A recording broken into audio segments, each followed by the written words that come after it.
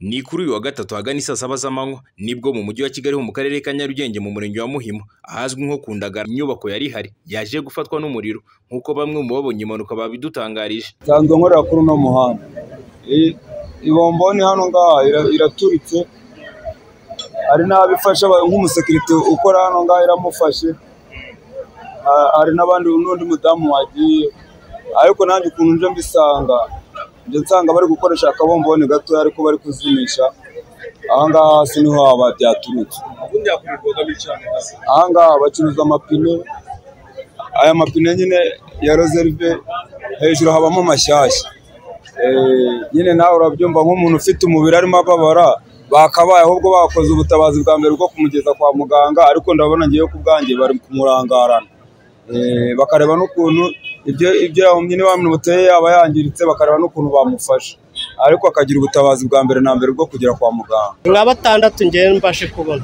Eh, ni ukuvuga ngo ngewe nari ngeze hano hepfo gatoya kuri ziriya ferabeto nzamuka hano ruguru ngiye kubona mbona ikintu kiriya kibomboni kiraturitse gipfumura muri uyu muryango gikubita bya bimodoka byashira umuteto bije vuba.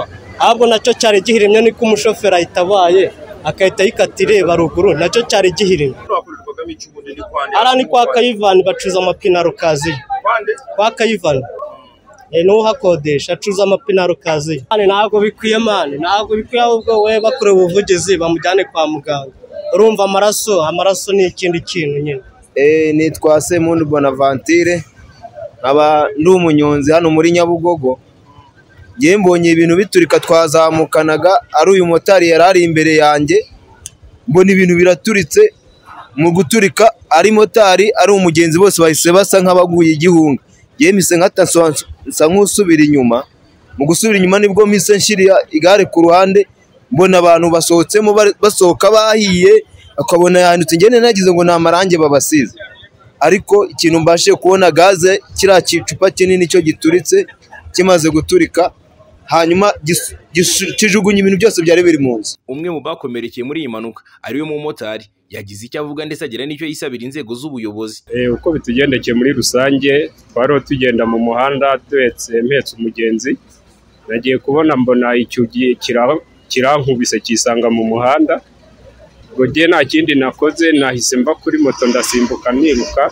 Imodoka yari iri inyuma yanjye niyo yahise ifata moto.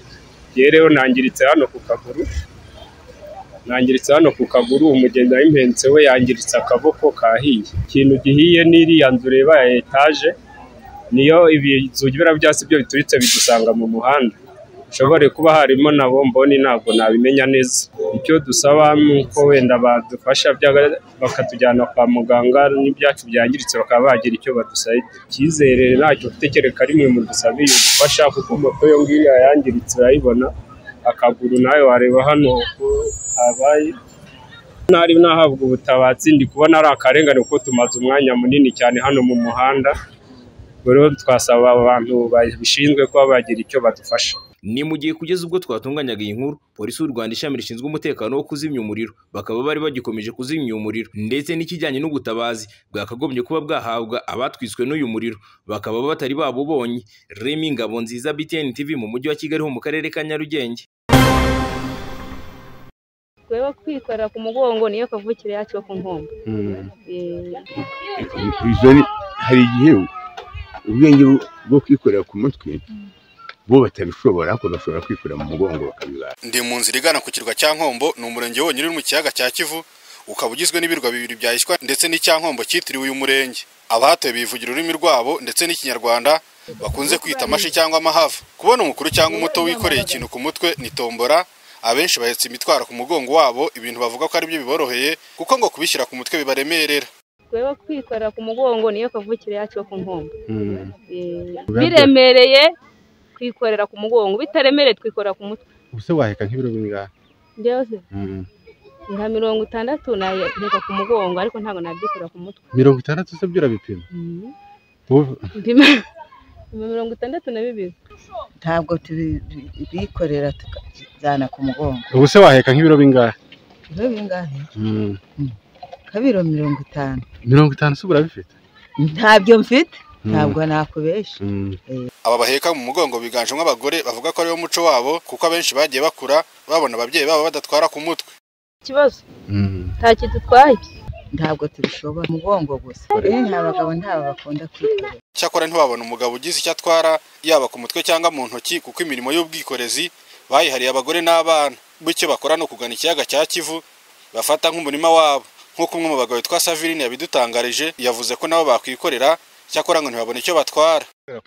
Ubundi ino basanzwe ari ku mugongo bikorera ku mutwe ntabwo babishoboye. Hari igihe ubwenge bwo kwikorera ku mutwe bo batabishobora ariko bashobora kwikorera mu mugongo bakabibara bityo yakwikorera. Urabona hari igihe wowe uba ufite i- i- ama- amabuye yo kubaka. Ukabona ba bagore akaba aruha ka kazi akaba ari bo bajya gukora ka kazi bakajya nk'abantu icumi baki- bakajya kwifatisha bakifasha nk'abagore icumi bakajya hamwe bakajyana ya mabuye ni umuco wanyu bivuga ubundi ni umuco gakondo bisanzwe. Abagore bino bikorera ku mugongo. Ikirwa cya nkombo gifite ubuso bungana na kilometero kare ma- makumyabiri n'icyenda n'ibice birindwi. Muri izi icyenda zigizwe n'amazi ubundi butaka busigaye butuweho bukororerwaho ndetse bakanabuhingaho. Akimana ernest btn tv ku nkombo mu karere ka rusizi.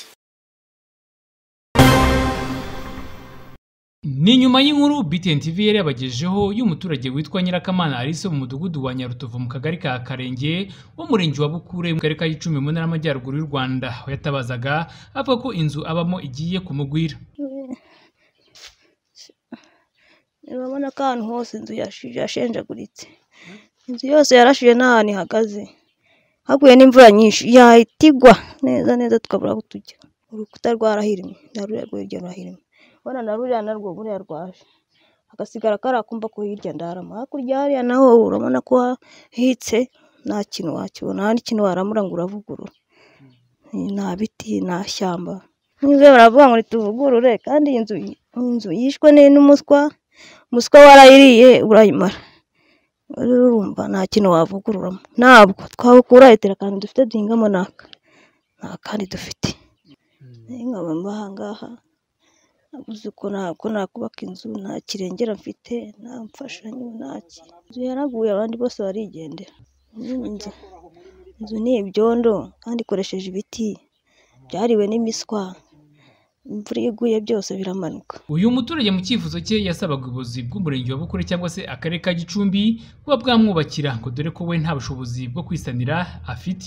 Umuyobozi niyo nabisaba rwose keka mutuvuganiye. Nta kintu nta kintu batumarira. Abayobozi se babikora wiki? Nta kintu bagiye badufasha.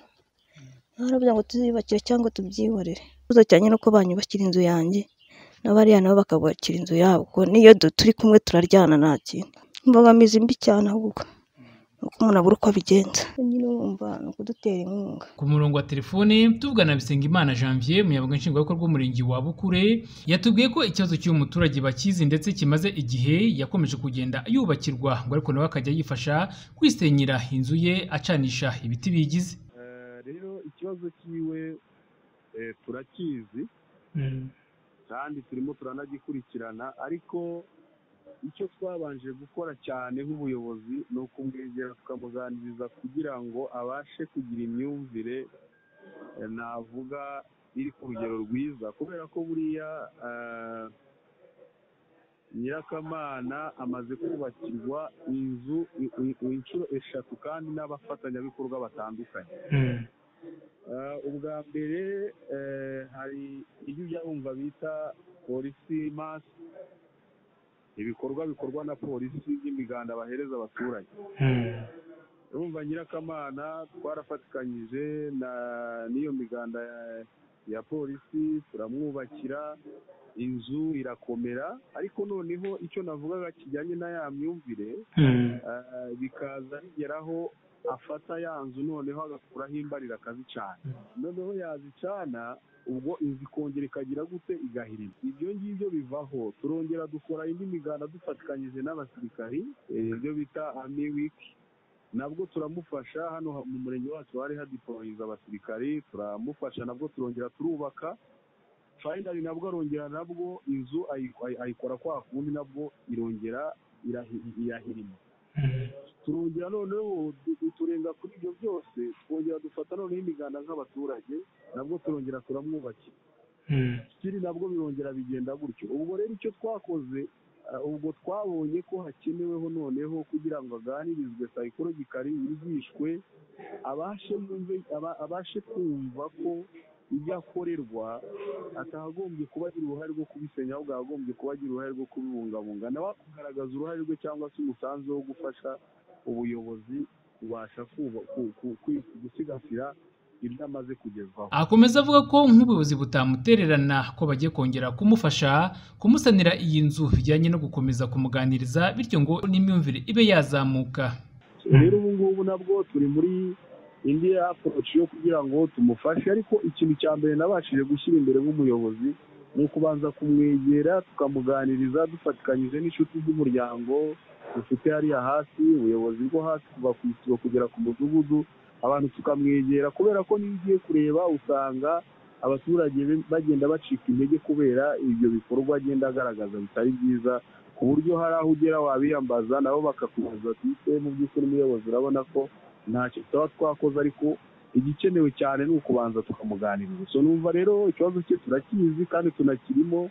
Mu by'ukuri numva ko turimo tura- turagishakira igisubizo. Ariko umuti umuti nyirizina eh, uruta byose ni ukubanza kumwegera no kumuganiriza kugira ngo abashe kumva ko nawe yagira ibyo ahindura mu mitekerereze. Akumva ko ibyo akorewe afite iya mbere mu kubibungabunga no ku- no kubifata neza. Janvier Kamanzi BTN TV mu karere ka Gicumbi mu ntara y'Amajyaruguru y'u Rwanda.